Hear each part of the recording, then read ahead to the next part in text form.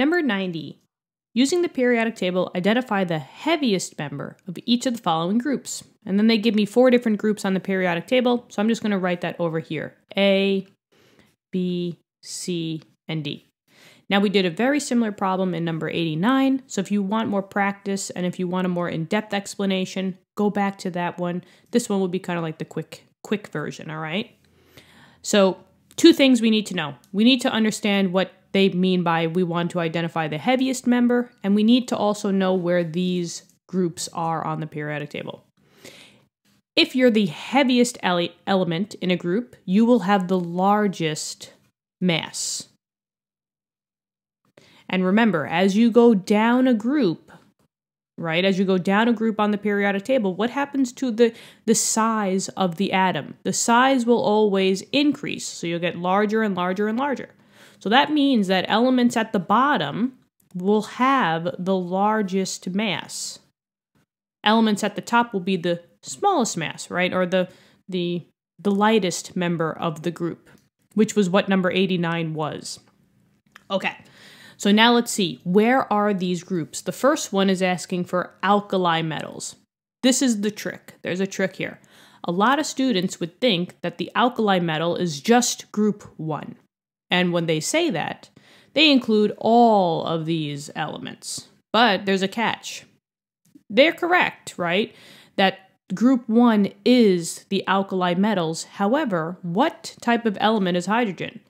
Hydrogen is a nonmetal.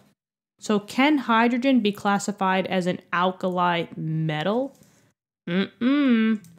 So, actually, get rid of hydrogen. Hydrogen is not part of the alkali metals, but the rest of the group is. So it's from lithium all the way down to francium. So from lithium to francium, all of those. That is your alkali metals. Now, who is the heaviest? Well, it's the one that's going to be all the way at the bottom. So it's going to be number 87, francium. That's the answer for A. Francium has the the largest mass. I mean, it's 223. That's crazy. So, FR, francium, that's the answer for A. Next, we have chalcogens. Another way of saying chalcogens is just the oxygen group. So you can say this group by the first element in the group. So it's basically everybody below oxygen. So it's oxygen and below. So it'd be basically group number 16. So all of these. Now, I'm not going to say that it's this element. As you can see, this element is white as opposed to colored. This represents that uh, IUPAC, which is like the the uh, they make the rules for a lot of stuff in chemistry.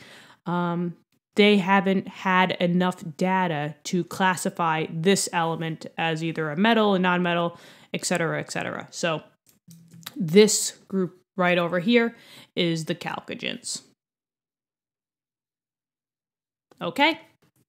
So, which one would be the heaviest? Well, it would actually be polonium. It wouldn't be this one because this one is not considered in that group yet. So actually, this would be polonium. P-O, polonium.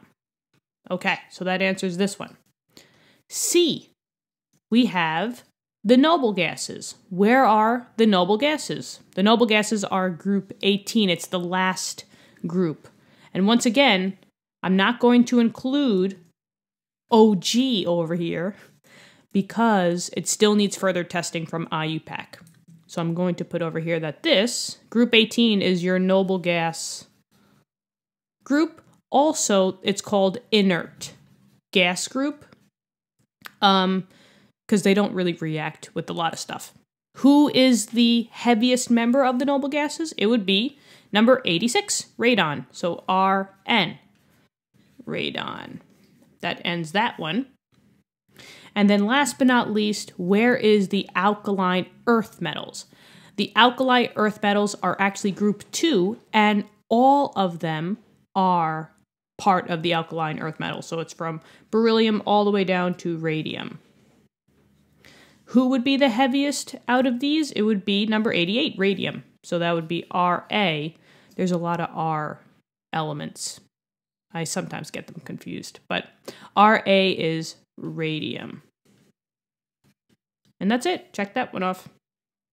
All right.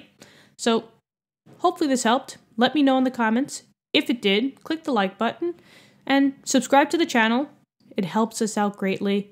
Thank you so much for doing that. We appreciate all you guys. Thanks for the support. Um, yeah, have a great day today.